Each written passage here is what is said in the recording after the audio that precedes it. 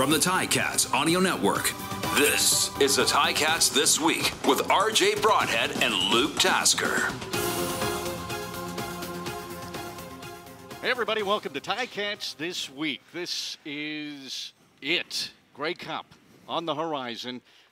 The Blue Bombers and the Tiger Cats played the first game of the year, and they're going to play the last game of the year, and we'll see how it turns out. It'll be exciting on Sunday. Of course, I'm RJ Broadhead.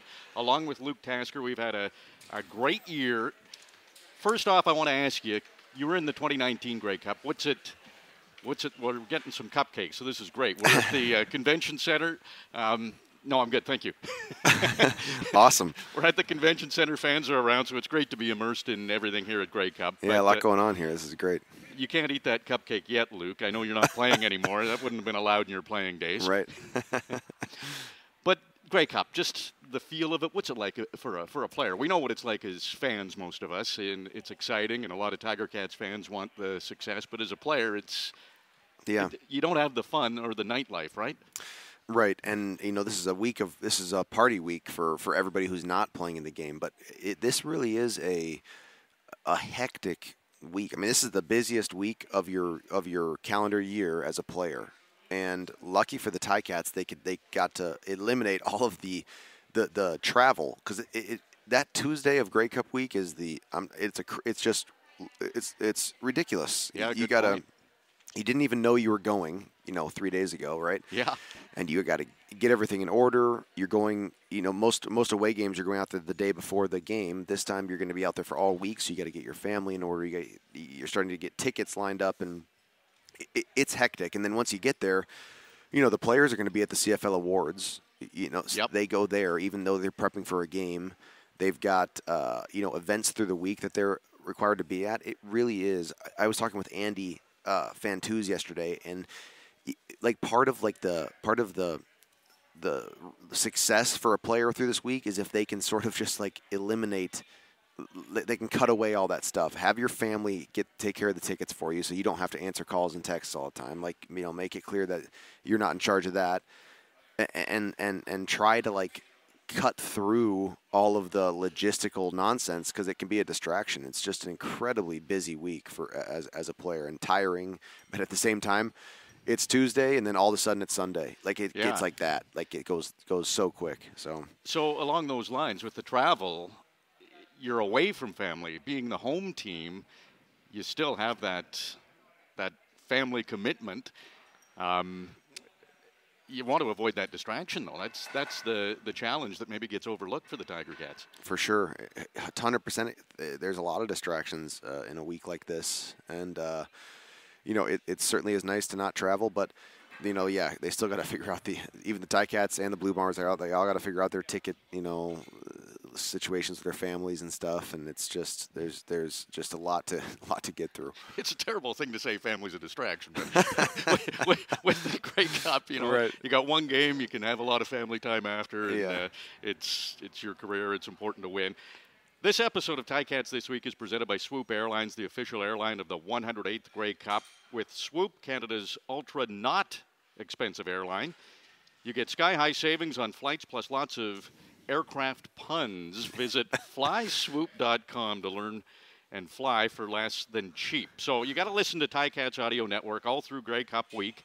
In partnership with Swoop, we're giving away two amazing prizes. So a pair of Grey Cup tickets and a pair of round trip flights anywhere Swoop flies. All you have to do is listen for the Swoop keyword, and we'll give you a different keyword in every piece of content we create this week. So the more you listen, the more chances you have to win flights. Go to ticats.ca slash listen to win. That's ticats.ca slash listen to win for full contest details, terms, and conditions. And we're not giving you the keyword yet. We'll give it to you a little bit later on. That forces you to listen to the whole Ticats This Week show. Go back to that first game. And Winnipeg won 19 to 6. And it was our first game working together. It was, uh, it was a, a great time. But I go back to that first drive of the, of the Tiger Cats. They go eight plays, 89 yards. Jeremiah Masoli to Jaelon Acklin. They score a touchdown. You and I looked at each other and thought, okay, this is going to be another dominant season. Then, and then they didn't score a second half point for two straight games, and it was uh, it went a little bit sideways for for things. Uh, going back to that game, Luke, can you can you take much from it, or is it so long ago that it's irrelevant now?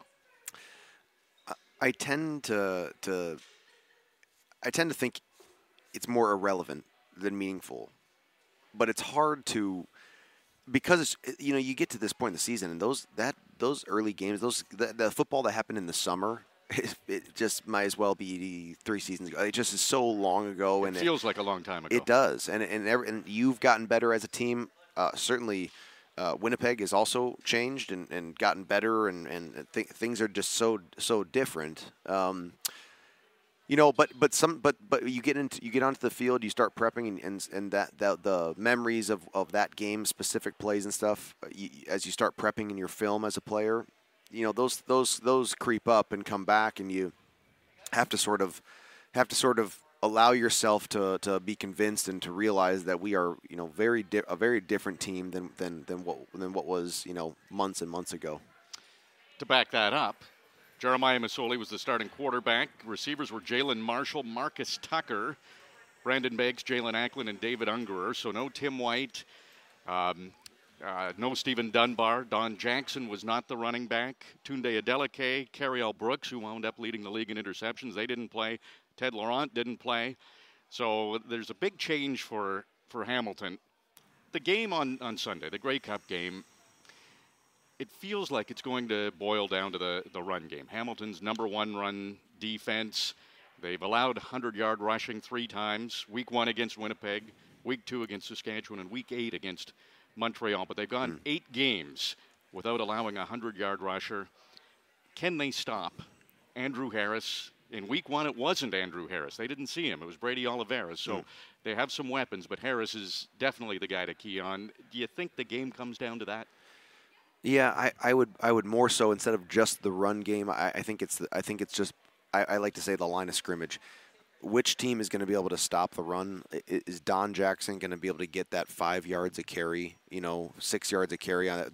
Can Don Jackson put the team in second and four uh, repeatedly throughout the night? Uh, and can that offensive line make it happen for the Ticats? And then, and then defensively, which team is going to be able to, to stop that uh, that run game? Now, it, it's a passing league. The CFL is a passing league, yeah. right? And so it's not it wouldn't be it's not no surprise that you know we're going to see uh, Zach Collaros and Dane Evans uh, air air the ball out for sure. But uh, I if if if Andrew Harris or Don Jackson can can not be a factor, if those D lines, if that if that if those uh, linebacking corps can can cause those guys to not be a factor, I think that's going to be huge for for whichever team has success there. Um, but also what I'm interested in is this pass rush. I'm gonna I, am gonna be really interested interested to see which which uh, which teams uh, D line and D ends are going to be able to create a, a, more hectic situation for the quarterbacks. Um, really really talented groups on both sides. Yeah, you're, you're so right, and we've seen Ja'Gared Davis elevate his play. He was good all year, but for a, a big man, he is just so quick. He sees that that hole, that opportunity, and he he bursts for it, including the playoffs this year. He has ten sacks, four sacks in the two playoff games. Uh, that whole D line has has been dominant, and it seems like it takes a, a big play in these playoffs to get the Tiger Cats offense going in that mm. semifinal against Montreal. It was really the Julian Howsare fumble recovery that he yeah. he rumbled down and, and put the Ticats in a good spot, and of course the Papi White uh, punt return. Do they need a quicker start on offense, or just wait for that that turning point play? No, I do. I think I think they absolutely need to find a, a, a quick answer early in this game. I don't know I can't. I can't.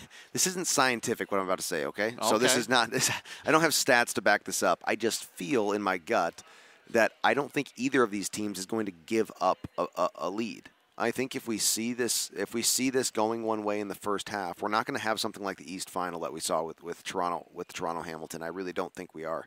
I think these teams are are both good enough to, to, to, to not give up that lead if they if they get it early. So I, I am going to be very interested to see how quickly the Hamilton offense can, you know, be productive and, and, and find and find some find some answers. It, you string those two and outs together early in the game. I don't think Winnipeg is going to uh, going to sit around long enough to, to, to keep this thing in. Uh, uh, uh, you know, to keep this game close. I think I think one of these teams is gonna is gonna take an early lead, and I think that might be the how we see it at the end.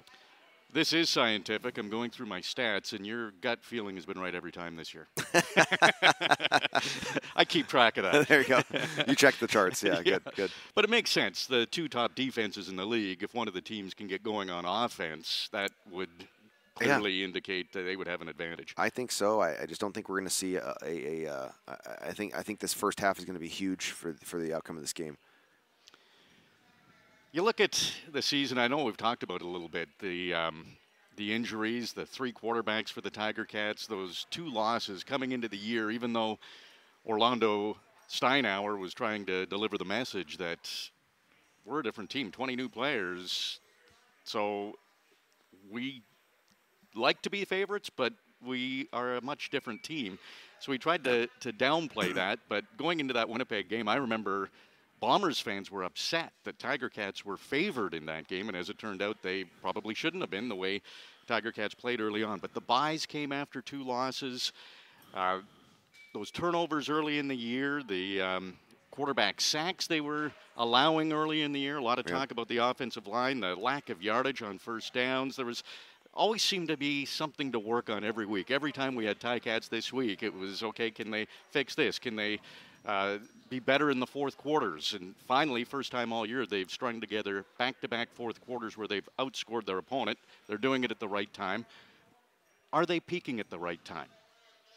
Uh, I certainly think they are. They they early in the season, one of the key issues that they were struggling with was their offensive line. Chris Van Zyl was hurt for most of the first part of the season. They've in as the year progressed, Darius Ciraco was in and out of the lineup. They've had a lot of adversity there, and uh, that sort of goes. I mean, it, it doesn't go unnoticed. We were all talking about it, but but in the, the flow of the game, it, it's more impactful than you may than you may realize. You know, and I think that that unit is cohesive now. The offensive line. Uh, the the quarterback controversy sort of never ended this year, right? Like Yeah, even when Jeremiah Masoli was playing great, Right. It it still hovered around the team. It was really really odd. That's still been going on, and now uh, uh, Dane had an unbelievable performance in the East Final, and they're going to go uh, with him for, for this game. But it certainly is a uh, certainly is a, a different team and a s- different team than the year started out. Um, uh, but but it, football, the games are. It's just so funny to me. I, I always found, I always felt as a player, it got over overanalyzed in some senses. This this hundred percent doesn't matter who's favorited in that first game. Doesn't matter who anybody. One play can swings the game either way, and and and, and that moment momentum is a real thing in football. It's a real real thing, and once you get that and capitalize on that, it doesn't matter who is. Who, it doesn't matter what the stats say about the last game or whatever. It it, it really starts to change things, and yeah, it's gonna be a it's gonna be a, a, a a great a great matchup. Yeah. You talked about Dane Evans going to be the quarterback. Had a perfect passer rating, uh, 16 for 16 when he came in. It was probably good. He he was close to perfect, perfect passer rating, perfect. Uh, didn't throw an incompletion, so we can call it perfect. Um, scored a couple of touchdowns himself. It just made the the decision for the coaches a, a little bit easier. If he was just okay in that East final and they still came out with the victory, it might have been more of a, a topic. But uh, don't you think that the way he performed, you, it made sense to give him the start in the Grey Cup? I- do. Uh, he he just played so well in that East final and came in, you know, uh, a you could presume that he, he probably didn't even expect to play at all in that game. And uh, Coach O said it in his uh, post-game interview. They just needed a spark. They were just Yep. looking for anything to, to sort of get get uh, you know change the the the lull of, of what their first quarter was, and uh, he just did s- such a good job that it almost makes it a non a non uh, question. You know, like he he he, he clearly uh, earned his way to, to get the start in this game, and would, it would be very surprising if they didn't go with a guy who played that way in the East Final. Are you a superstitious guy? Not particularly, no. Okay. but also, I am. Uh, you know, everything about me is changing now that I'm in the booth and on the field. So who knows? Maybe I will be uh, soon. Wear the same stuff you've worn in the in the playoff games. What about uniforms? I- I've been keeping track of that. Uh, I love it. You know, you're great at the you're great at the uh, the coaches challenge stats. You're always right on the money with uh, you know Yep. they're three of five. They're you know I like the useless stats. yeah, the useless stats. I love it. I've I've come to love these things, and uh, and, and the uniforms. That is an interesting one. So yeah, fill us in here. Well, it, it was funny because I've kept track all year, and going into the Argos game in the East Final, Tiger Cats were wearing the white tops with the black pants, Yep. and they were 0 for 4. And I remember saying to you before the game, "Should I bring this up? I don't think I should bring this up." and you said, "Don't, don't touch it," and never even brought. So that was their first win in that combination of the white tops and the black Amazing. pants. I don't know if anyone with, on the team keeps track of that sort of thing or any fans do, but I thought it was fun just to look at. So it appears they're going to wear black and gold, the black tops and the gold pants. that's the, the class, classic Cat combo, right? Yeah, Beautiful. Yeah, It's great. beautiful. Do you think they have a good record in those? Do you want to guess? Oh, let's see. So if they had, Putting you on the spot here. yep. So if they had seven home games this year, where they had a black, so You me- are scientific. are they two and two? Uh, no, better than that. Three wins and one overtime loss. The Montreal uh, Oh. game, the overtime loss on uh, That's the awesome. last play to Eugene Lewis in the end zone on third and 20, and then won it in overtime. So they do have a good record in the black and gold. So Ticats fans, that if you're superstitious, black with the gold pants is a is a good combo. Perfect. Going into Grey Cup, um, you've been with the Ticats. You were with them in 2019. Is there anyone that has a speech? Is it the coach? Do you think a player will step up? What what can you take us in the locker room in, in that situation? Yeah, I think it's no surprise to to uh, Ticats fans that Orlando Steinauer is very much so a this is just the next game that we have to play type of coach, right? Um, certainly, uh, there's you know you have to it, just the week is different uh, regardless of, of what's said or what's done like everyone is just there's so many more responsibilities Grey Cup week so everything feels different uh, it's a it's a effectively a national holiday, and you're you're the you're the main event, right? And so it does the the energy and the and the uh, drama starts to build as the week goes on. But Coach O certainly is sort of um, you know takes that takes that uh, you know side of it where it's we've been doing this all year type of thing. You know, don't yes, it's a bigger game. It means more. It's it's a it's it's for the the Grey Cup, but this is just another football game like we've been doing all year, like you've as a player, like you guys have been doing your whole lives. Go out there and do your job, and and and take a deep breath. This is just another football game. But I think that you then also have uh, a, a little bit. There's a little bit extra internal sort of uh, outspoken leadership. Some some guys will certainly, um, you know, uh, share their thoughts on the game or on, on the team. They'll sort of, you know, you, you kind of lay it out all, all out on the table, you know, for your teammates. And um, it's funny too. Every player is going to be a little bit different about a game like this. You know, some guys are going to, some guys are going to be change their change their style of prep. Like you know, some guys can't can't help but to but uh, you know this is the Grey Cup, and I'm gonna I'm gonna you know get do everything I can. And there's some guys, and I think I fell into this category where you just shoot nothing nothing else you can do than what you've always done. You just go out there and and and and, and play the best way that you have. But uh, I'll say the last three Grey Cups that the Ticats have been in, we they we always went out west. We were always a huge big trip. All you know, it was just a big you know big affair of just all sort of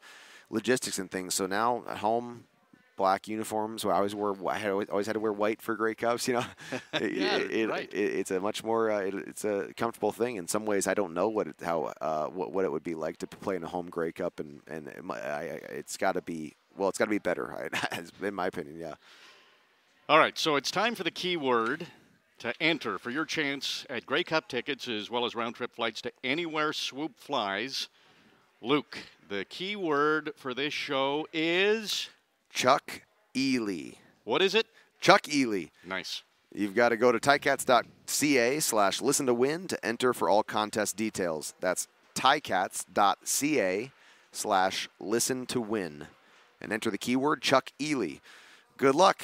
Keep listening for more chances uh, to win. That's exciting, huh? And they, if you're not getting your Grey Cup, Grey Cup tickets for free from from our Yeah. our uh, uh, Ticats Audio prizes, Network and Swoop. That's right. Then you're going to have to pay a, a big buck for them. So Yeah, yeah, Yeah. It looks like they're going for a, pretty penny. Uh, just, just finally here, Luke. Um, 2019, Tiger Cats were favored. Some turnovers, fell behind. Was there a different feel on the sideline? I'm, I'm only asking that because Winnipeg would be slightly favored here, I, I would think, even though the, the Tiger Cats had a, a really good year. So, if the Tiger Cats can reverse that and, and jump on Winnipeg, can you remember what the feeling was like on the sideline? Yeah, it was. Um, it was one of those games, uh, and the unfortunate truth is things started to go wrong quickly, and they started to compile, and you know, uh, things we didn't expect Winnipeg to do. Uh, have, for instance, having have some downfield passing uh, that was impactful in the game. They did it early, and they did it very well, and and, and it got and it really got out of hand uh, early. We had those we had turnovers. Um, in the first half that were costly.